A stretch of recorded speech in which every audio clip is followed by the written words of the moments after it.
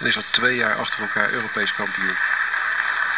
Een prachtige revanche kan je niet hebben na een dopingschandaal. 195 kilo. Nog een keer. Voor deze Armeniër. Ik heb het al eerder gezegd. Het is een uh, gewichtheffer die heel sterk is. Goed voor de dag komt. Hij werd uh, twee, twintigste bij, verleden jaar bij de wereldkampioenschappen. Komt dus eigenlijk niet internationaal in de hoogste regio naar voren. Heeft, dat was ook zijn enige, eerst een enige internationale wedstrijd. En dit is zijn tweede. Het ontbreekt hem aan routine. Op dit internationale podium. En nou pakt hij hem wel. Dat ging nog heel makkelijk ook. En is het toch doodzonde dat hij zijn eerste beurt mist omdat hij de tijd voorbij laat gaan.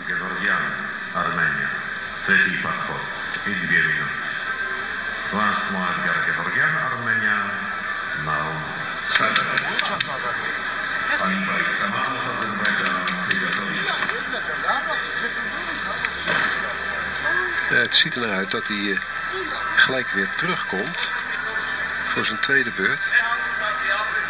In de B-groep, uh, die is gewonnen door uh, Konstantin Piliev uit Oekraïne.